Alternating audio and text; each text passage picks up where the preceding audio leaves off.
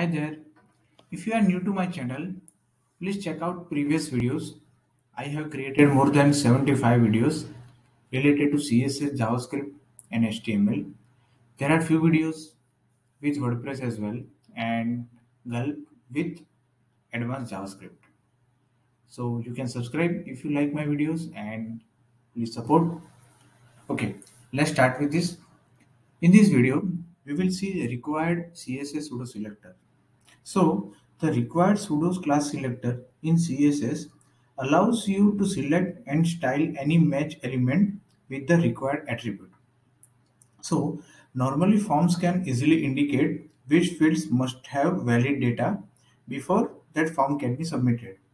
But that allows user to avoid the wait occurred by having the server be the sole validator of the user's input.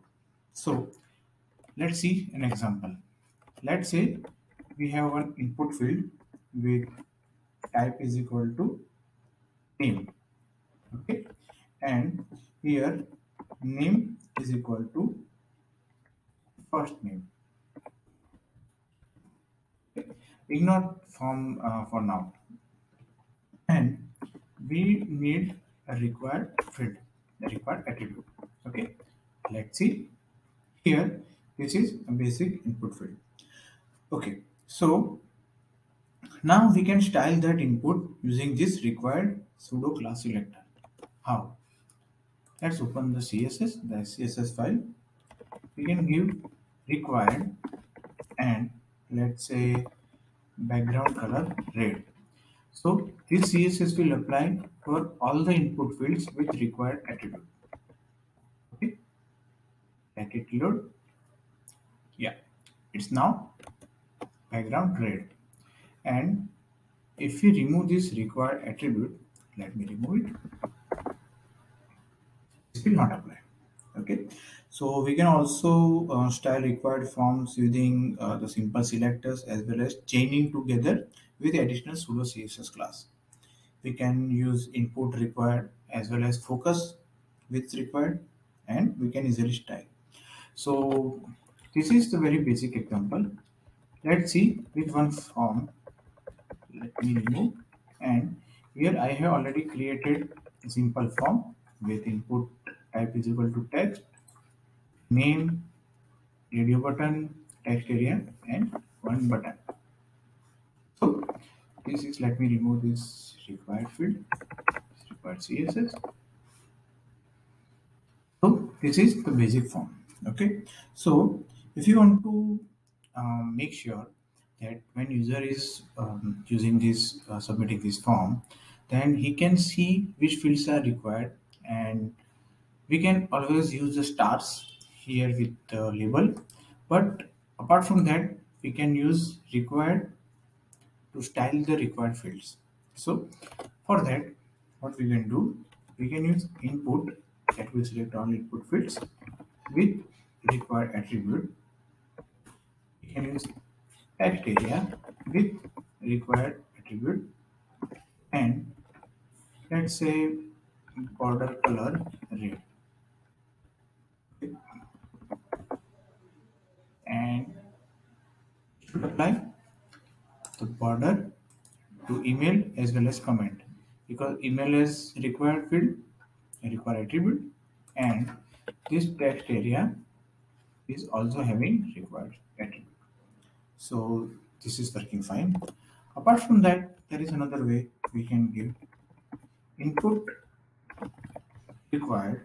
And with required we can target select and we can give color red. So the user can see the difference. So here as you can see this is a label okay? And input field type is equal to radio it is also required. But you cannot give this required to this label. So using this css input required plus label on the same label you can select the color and give css whatever you want. So this way you can give css to labels as well as well as the fields. So the required attribute is treated as a boolean. That means it does not require a value. Simply having required on an element lets the browser know this attribute exists and corresponding input is in fact a required field.